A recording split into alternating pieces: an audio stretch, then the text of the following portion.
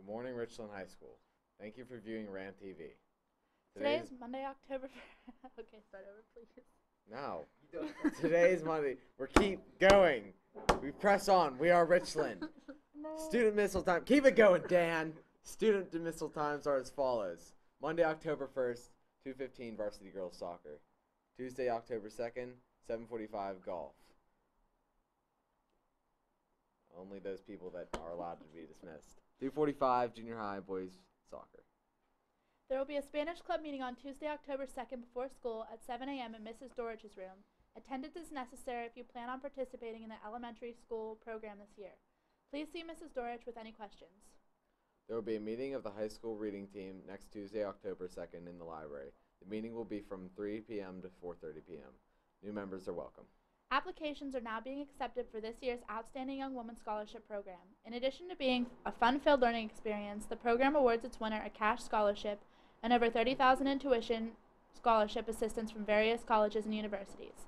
Any junior class girl interested in participating in this year's program can pick up an application in the guidance office. The deadline is October 29th. The senior photo will be taken Friday, October 5th at the beginning of 5th period. All seniors are to report to the flagpole in front of the school and please wear red and blue. The Key Club will take any final pink shirt and hoodie orders today. Drop them off in the office or Mr. Wintering's room. Stop by the school store and check out the pink gear the Key Club is selling to support the fight for a cure for breast cancer. Starting next week, all senior high forensics practices will be on Wednesday and Thursday. No more Tuesday practices. There will be a National Honor Society meeting tomorrow, Tuesday, October 2nd at 7 a.m. in the LGI room. Attention all 7th and 8th grade students interested in MATHCOUNTS. Our first meeting will first meeting and practice will be held on Thursday, October 4th in Miss Samaja's room, B214. Practice will run until 4 o'clock. If you are interested in math or you're looking for a challenge, come and see if MATHCOUNTS is for you.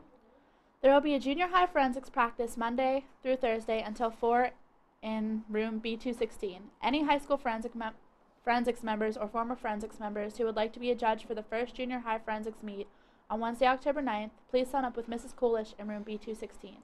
Random fact of the day. In the Caribbean, there are oysters that can climb trees.